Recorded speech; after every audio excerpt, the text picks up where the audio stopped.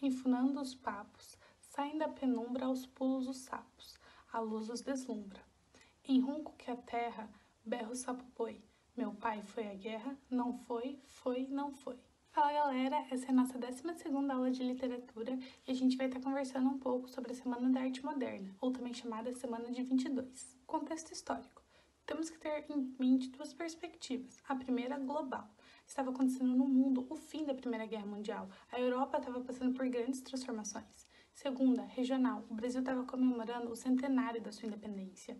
Este é um movimento de caráter extremamente burguês e elitista. Por quê?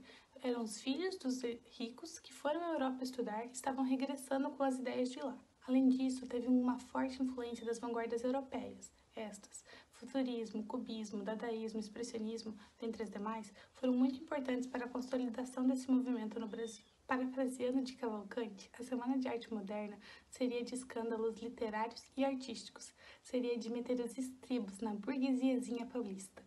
As principais características.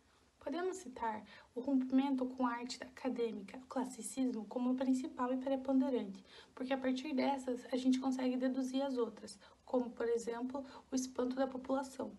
Essa nova visão da arte criticava o modelo parnasiano por ser tão preso e não se preocupar com os temas. A proposta era uma apresentação de uma arte mais brasileira, com uma aproximação da linguagem mais oral, vulgar, coloquial mesmo. Dentre seus principais autores, podemos destacar o grupo dos cinco. Os membros são Anita Malfatti e Tarsila da Amaral, duas pintoras, Menotti del Pincha, Oswald de Andrade e Mário de Andrade, que são três escritores. O poema que eu citei no começo do vídeo é um trecho dos Sapos, do Manuel Bandeira.